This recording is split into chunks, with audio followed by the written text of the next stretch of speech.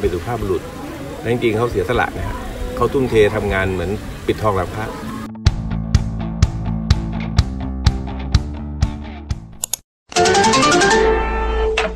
รายการต่อไปนี้เหมาะสำหรับผู้ชมที่มีอายุ 13 ปีขึ้นไป อาจมีภาพ เสียง หรือเนื้อหาที่ต้องใช้วิจารณญาณในการรับชม ผู้ชมที่มีอายุน้อยกว่า 13 ปี ควรได้รับคำแนะนำ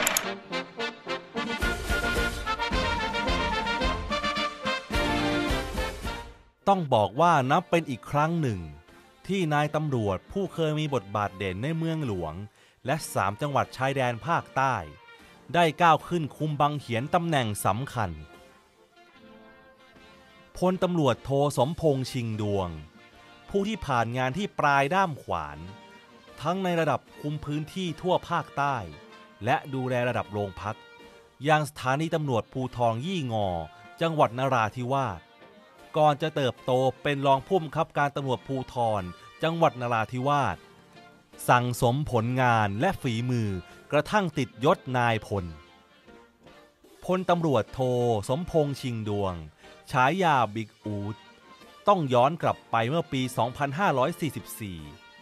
เพราะเป็นเหตุการณ์ที่ทำให้คนไทยทั้งประเทศได้รู้จักพันตำรวจโทสมพงษ์ชิงดวง รองผู้กำกับการสองกองปราบปราม ยศและตำแหน่งในขณะนั้น เนื่องจากเป็นผู้ที่นำกำลังตำรวจคอมมานโดปลุกจับผู้พันตึง ทหารมาเฟียผู้โด่งดังแห่งยุค ขณะกำลังสวมเครื่องแบบทหาร เพื่อเป็นเกราะป้องกันไม่ให้ตำรวจควบคุมตัวเขาได้ ผู้พันตึงโดนหมายจับในคดีฆ่าผู้ว่ายโสธรมีเส้นสายมากมายในวงการคนมีสี แต่เมื่อกฎหมายศักดิ์สิทธิ์ ผู้พิทักษ์สันติราษฎร์ไม่หวั่นเกรงอิทธิพล ไม่ว่ามาเฟียหน้าไหนก็ไม่พ้นอาญาแผ่นดิน ณวันนี้ตำรวจเจ้าของฉายามือปราบผู้พันตึงในครั้งนั้นพงาดขึ้นเป็นผู้ช่วยผู้บัญชาการตำรวจแห่งชาติ โดยผ่านหน่วยงานระดับกองบัญชาการที่คุมกองกำลังพลอย่างเช่น กองบัญชาการตำรวจตระเวนชายแดน ภารกิจในการพิทักษ์ปกป้อง และเทิดทูนสถาบันพระมหากษัตริย์ การเตรียมความพร้อมในการปฏิบัติงานตามนโยบายสำนักงานตำรวจแห่งชาติ การป้องกันรักษาสถานการณ์ชายแดนในพื้นที่ที่มีปัญหาความมั่นคง เสริมสร้างความปลอดภัยในชีวิตและทรัพย์สินของประชาชน พัฒนาช่วยเหลือประชาชนเพื่อความมั่นคง และผ่านหน่วยงานที่มีภารกิจในการตรวจบุคคล และยานพาหนะที่เดินทางเข้ามาในราชอาณาจักร และเดินทางไปยังนอกราชอาณาจักร เปรียบเสมือนประตูของประเทศ รวมทั้งให้บริการคนต่างด้าวขณะพำนักอยู่ในประเทศ และการรักษาความมั่นคงของประเทศบิ๊กอูดเป็นดาวรุ่งพุ่งแรงของนักเรียนในร้อยตำรวจรุ่นที่ 40 เขาเกิดในค่ายทหารที่จังหวัดลบบุรี บิดาเป็นทหารยศร้อยตี ส่วนมารดาขาขาย และญาติพี่น้องส่วนใหญ่ก็เป็นทหาร หลังยืนอยู่กลางสปอตไลท์จากผลงานบุกจับผู้พันตึง เขาก็ถูกดึงไปเป็นนายเวรของผู้บัญชาการตำรวจแห่งชาติพลตำรวจเอกโกวิทวัฒนะ เมื่อครั้งขึ้นเป็นเบอร์หนึ่งกรมปทุมวัน โดยบิ๊กอูดครองยศพันตำรวจเอก และเริ่มสัมผัสชีวิตตำรวจชายแดนใต้ เพราะพลตำรวจเอกโกวิท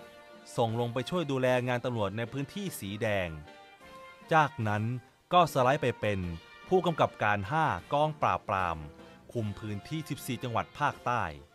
คลี่คลายคดีดังๆ หลายคดี โดยใช้เทคนิคด้านนิติวิทยาศาสตร์ ชีวิตราชการที่กำลังรุ่งโรจน์ก็มีอันต้องพลิกผัน เมื่อมีการเปลี่ยนตัวผู้บัญชาการตำรวจแห่งชาติ จากพลตำรวจเอกโกวิทเป็นพลตำรวจเอกเสรีพิสุทธิ์เตมียเวท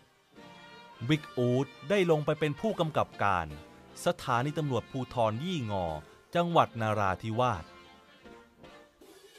จากนายตำรวจที่เคยดูแลพื้นที่ 14 จังหวัดภาคใต้ เหลือพื้นที่ดูแลแค่อำเภอเล็กๆ เพียงหนึ่งอำเภอ แถมเต็มไปด้วยอันตราย บิ๊กอูด ลุยงานพัฒนาโรงพัก ดูแลตำรวจชายแดน รวมไปถึงโครงการเพิ่มการฝึกอบรม เช่น ขับรถทางยุทธวิธี เพื่อให้กำลังพล โดยเฉพาะพลขับที่มีทักษะในการขับรถในวินาทีที่ถูกโจมตี หรือเกิดเหตุไม่คาดฝันบิ๊กอูดอยู่ในพื้นที่สีแดงอยู่หลายปี จนกลายเป็นนายตำรวจขวัญใจของคนนราธิวาส ได้เลื่อนตำแหน่งเป็นรองผู้บังคับการตำรวจภูธรจังหวัดนราธิวาส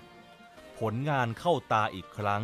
จนได้รับความไว้วางใจมาเป็นรองผู้บังคับการตำรวจสันติบาลสามก่อนขยับติดยศนายพลครั้งแรก ในตำแหน่งผู้บังคับการตำรวจภูธรจังหวัดแม่ฮ่องสอน เรียกว่าจากใต้สุดยันเหนือสุดก็เคยตระเวนไปหมดแล้ว จากนั้นสไลด์กลับนครบาล มาเป็นผู้บังคับการตำรวจอารักขาและควบคุมฝูงชน และเลื่อนตำแหน่งสูงขึ้นอีกครั้ง เป็นรองผู้บัญชาการตำรวจภูธรภาค 5 คุมพื้นที่ภาคเหนือตอนบนอีกรอบ ก่อนจะมานั่งเป็นรองผู้บัญชาการตำรวจปราบปรามยาเสพติด และเป็นรองผู้บัญชาการตำรวจนครบาลขึ้นเป็นแม่ทัพคุมกองบัญชาการตำรวจตะเวนชายแดน